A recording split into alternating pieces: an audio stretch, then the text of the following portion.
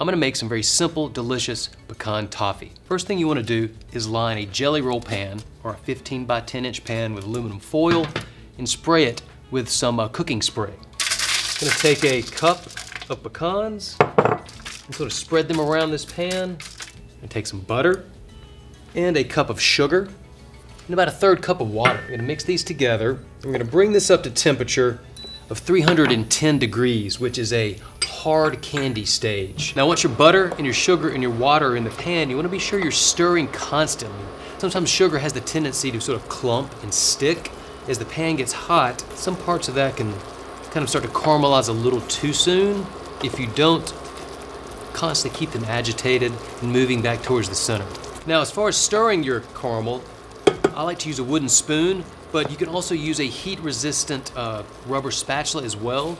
Works just as good, but there's something, uh, I don't know, just very traditional about a wooden spoon. Keep stirring, but you're waiting on that 310 degree mark. Very important to pay attention to this thermometer because it is basically going to let you know the different levels of the crack. The crack is in when you are going to be busting this up at the end and breaking off these great pieces of toffee.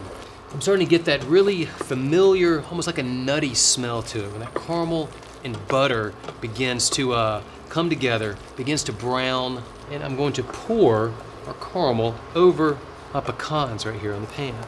And now, while this is super hot, it's important you kind of bring your chocolate into the picture. Now at this point, we want our toffee to chill for about 30 minutes. After that 30 minute period, it's gonna be ready to go. We can take our uh, mallet or a rolling pin and break it into uh, large or small pieces, whatever you prefer. So our pecan toffee is set now. It's uh, ready to be broken up. Now when you go to break it, there's, there's no real rhyme or reason to it. You just wanna start breaking it up into nice big chunks. Now one of the best things about toffee is that it keeps really well. You can store this in an airtight container for up to a week or more. It's uh, great to give as gifts because you can wrap it up in some really uh, nice paper, put in a great little box for uh, a gift for Christmas, a birthday. Super simple to make and delicious.